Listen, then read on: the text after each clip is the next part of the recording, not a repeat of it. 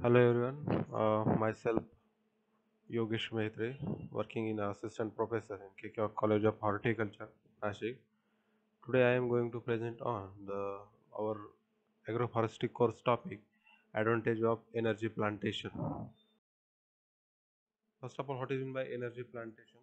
Energy plantation means those plantation which are planted for the purpose of the energy, means the for purpose of the fuels or other their byproducts. That's called as the energy plantations.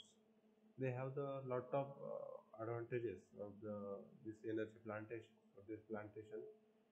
First uh, advantage of this uh, plantation is the emit little or no sulfur and less nitrogen oxide than fossil fuel.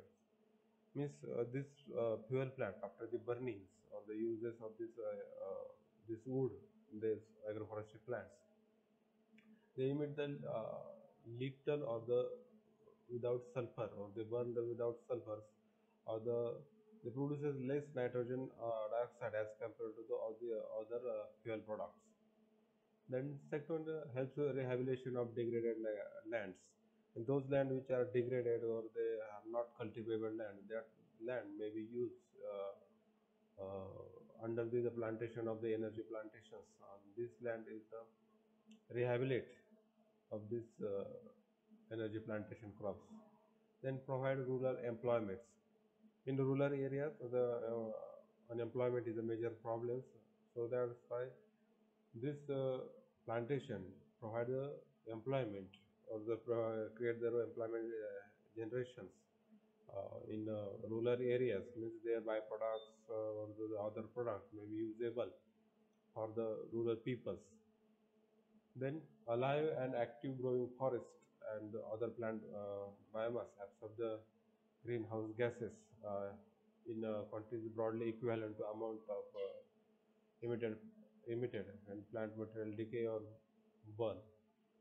They are thus the called as the carbon neutrals and fuel sources. Means this alive or active forest mainly the absorbing greenhouse gases just like uh, uh, chlorofluorocarbon, methane, ethane, or the another gases are should be absorbed and uh, to to make a uh, to help to reduce the pollutions for the greenhouse gases or to reduces the uh, air temperatures in our environments.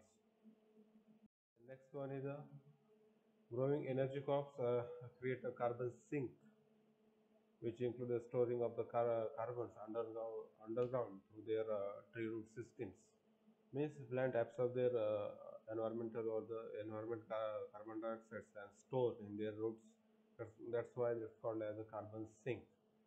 So mainly the, this plantation is uh, most useful for the reduces the carbon percentage in our air. Then lower energy costs per unit area as uh, lower input are required as compared to the agriculture crops. The, this energy plantation requires lower inputs means the fertilizers, pesticide, fungicide or not required as compared to the agriculture crops. Or lower energy cost per unit area means this pla- this plant uh, selling cost is also less or two uh, four to five rupees per plant is the cost of this uh, energy plantation uh, crops. So they after the uh, full growth of this uh, plant, they are cut and use uh, their different uses. So their uh, input cost is low as compared to the other agricultural crops or the horticultural crops. The next one is the energy plantations are uh, tough to remove the entire nutrient from soils.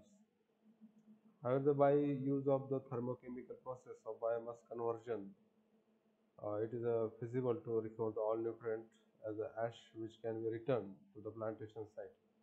This uh, energy plantation is uh, the tough to remove the nutrient from the soils because these uh, plants absorb the nutrient from the soils from the drip strata and then uh, use and then uh, after the defoliation of their leaves these nutrients are mixed into the or the decomposed in soils this cycle is continuously goes means the recover of the all nutrients in uh, their uh, decomposed leaves or the uh, wood parts or the branch parts after they decompose they leave their nutrients. After after the burning of this uh, uh, wood of this energy plant uh, plantation crops the ash and this ash create ash or the produce ash and this ash contains a lot of nutrients that are turned into the soil. Then next one is a dependable and renewable source of energy along with uh, with afforestation of marginal land and employment generation means is a renewable source of energy is a, this energy is renewable in year by year year by year and the employment generations. Uh, this energy plantation crop create uh, their byproducts. This product mainly used uh, the different industry as a raw material. So it creates the employment generations. And aesthetic values, windbreak and shelter beds. This energy plants mainly the our purpose is also purpose uh, the plantation in windbreaks or the shelter bed is another source. Are also useful for the fodder, fodder purpose for the uh, farmers' livestock and there are some uh, energy plant have the aesthetic values. It is a very uh, aesthetic in the uh, Hindu cultures. Then handling and disposal of byproducts is safe. Uh, this energy plantation uh, crops, the handling their byproducts, for example, gums, these flowers, fruits, uh, this handling is, or the disposal is safe as compared to the chemical products. This energy plantation are both ecological as well as sociological, much sounder investment. Ecological means uh, ecological balance. This energy plant create the ecological balance or the sociological, also the sociological balance. Ecological means uh, their ecosystems. One uh, one ecosystem is should be uh, maintained. Also sociologically means all the um, lot of carbon uh, carbon dioxide is absorbed or the absorbed the greenhouse gases or to uh, create the fodder for the uh, stocks or the to create produces the byproducts of the for the rural employments or the regeneration. So the as well as the, the much sounder investments of energy plantation.